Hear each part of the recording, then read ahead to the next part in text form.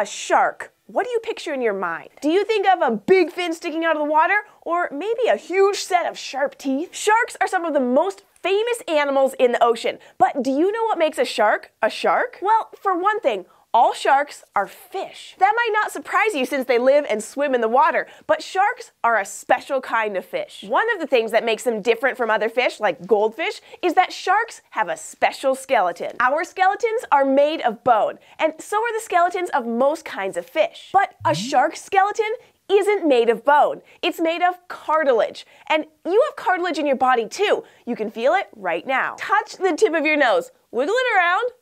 How does it feel? What about your ear. Can you bend it? You sure can, because the tip of your nose and your ear aren't filled with bone. They're filled with cartilage. Cartilage is a lot lighter than bone, and it bends easily. So having a skeleton made of this stuff helps sharks swim farther and faster than if their skeletons were made of bone. Now let's look at another body part that sharks are famous for their teeth. Have you ever lost a baby tooth and then an adult tooth grew in? Well, sharks lose their teeth all the time throughout their entire lives, and they just keep growing new ones. How can they do that? You and I just have one row of teeth in our mouths, but sharks have lots of rows of teeth on the top and the bottom. So when a shark loses a tooth, another tooth that's right behind it can just move on up to take its place. Because they always have new teeth to replace the old ones, some sharks can lose thousands of teeth during their lives. All right, the next cool thing about sharks their skin. If you could rub the skin of a shark, you'd find that it would feel smooth if you ran your hand in one direction. But if you rubbed your hand the other way, it would feel rough, like a cat's tongue. That's because a shark's skin is covered in tough bony scales that actually look a little like tiny teeth. These little scales are stacked on top of each other like tiles on a roof. This helps sharks swim through the water quickly and quietly. So those are some of the things that all sharks have. But there are over 450 types of sharks in the world, and that means a lot of differences too. Take a look at this one.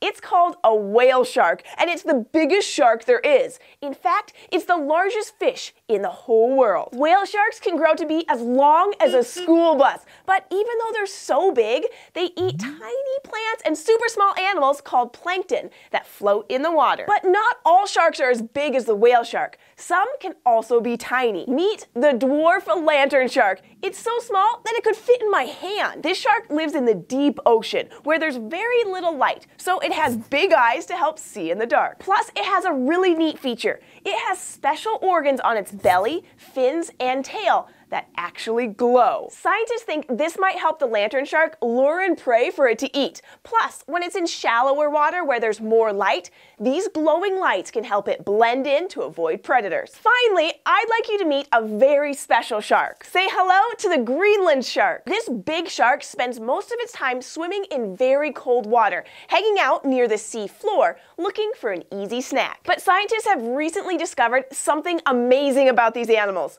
Greenland sharks can live to be up to 400 years old. Of all the animals in the world with backbones known as vertebrates, Greenland sharks live the longest, at least that we know of. But scientists are still discovering new kinds of sharks all the time, so who knows what kinds of super sharks are still out there waiting to be found. What's your favorite animal? Do you want to learn more about it? Just ask a grown up to help you and leave a comment below or send us an email to kids at thescishow.com. We're excited to hear from you. Oh, and we're also really excited because we're making some changes to the fort. So stay tuned and we'll share a few surprises with you in the upcoming weeks. Thanks, and we'll see you next time here at the fort.